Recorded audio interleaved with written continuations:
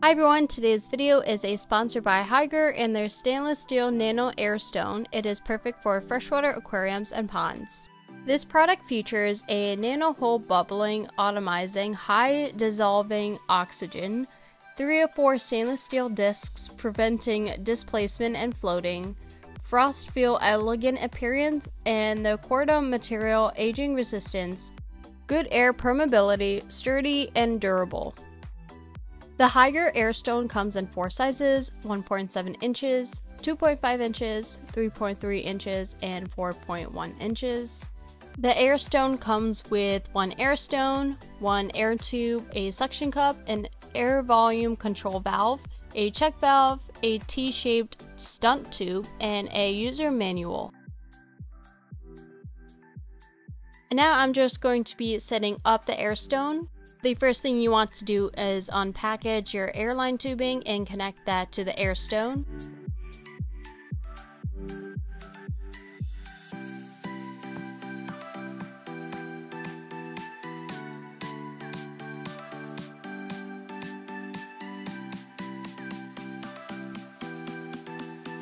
You then want to open your package of the check valve along with the T-shaped shunt and the air volume control valve. The check valve is extremely important to make sure there's no backlash of water so your tank doesn't empty out. I'm going to be first trying out this with my 10 gallon. The airstone sinks right to the bottom, which is perfect, which means there will be no floating.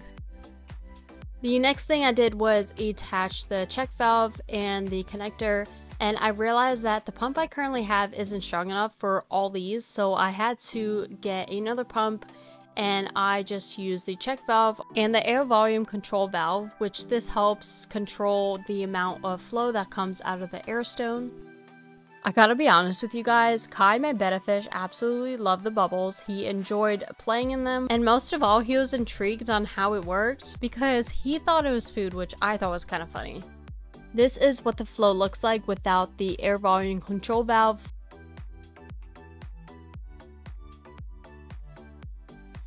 Now that I have unboxed it, set it up, and put it into my tank, let's review this. It was packed extremely nicely and it gave you a check valve and an air volume control valve with a suction cup, which I think those are bonuses as many companies don't usually give those out to you guys because they want you to pay for things separately. But I think having all this in one thing makes it so much easier. I like how the bubbles are smaller on this one and I've purchased other ones in the past and the bubbles have been so much bigger and I feel like the smaller the bubbles are the less likely the fish are going to get floated up from the airstone. I even tried this out in my 5 gallon and it's absolutely perfect. If you are having any trouble with the airstone, there is a troubleshooting on the manual. This is probably one of the best and one of my favorite fish items that I have gotten. If you are looking into getting an airstone for your fish tank, I recommend the Hygger Airstone. It is extremely easy to put together and to install. All the links will be in the description along with Hygger's social medias. But I want to thank Hygger so much for reaching out to me and asking me to try out this product. I absolutely love it and I think my fish do as well. Thank you all so much for watching, and I'll see you guys in my next video.